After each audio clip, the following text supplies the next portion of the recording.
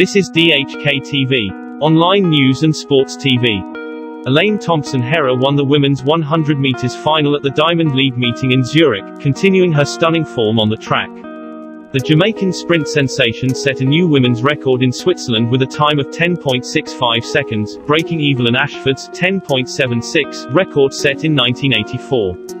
Thompson Herah, dubbed the fastest woman alive, finished a distant second to Britain's Asher Smith, who ran a season best 10.87. Switzerland's Ajla Del Ponte finished third on 10.93, just edging out another Brit Daryll Neita. Thompson Herah ran the 100 meters in under 10.70 seconds for the fourth time this season.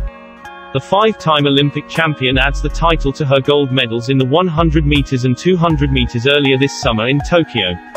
I am very happy with my race, Thompson Herah told reporters.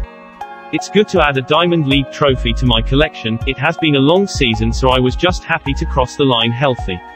It has been a crazy season, a long one and a tiring one. I was so consistent because I was just keeping the faith in me and did not allow any negativity, said the second fastest female sprinter ever.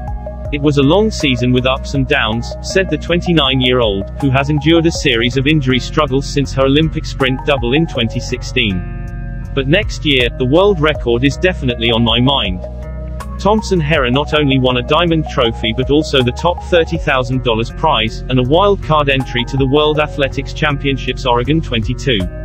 There were 25 final winners, with each champion collecting $30,000 half the prize in 2019 and automatic entry into next year's World Championships in Eugene in the United States.